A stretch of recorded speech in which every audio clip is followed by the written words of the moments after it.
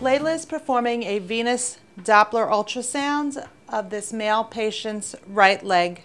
Venous duplex imaging is used to evaluate blood clots, venous insufficiency, incompetence, or tumor masses that may be obstructing veins. Acute and chronic thrombosis can be differentiated. In addition, this procedure may be used to detect superficial phlebitis and obstruction.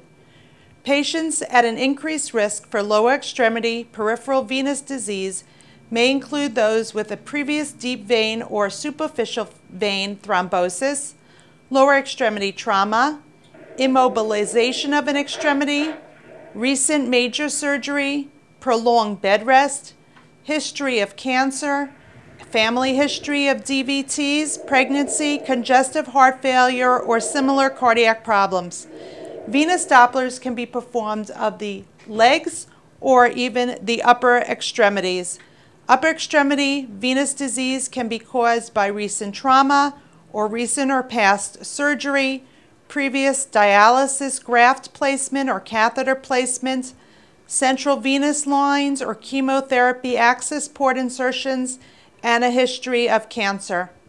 Some of the main indications for venous Dopplers are deep vein thrombosis, extremity swelling, vein mapping needed prior to surgery, upper or lower extremity pain, skin discoloration, varicose veins, open leg sores, phlebitis, or edema.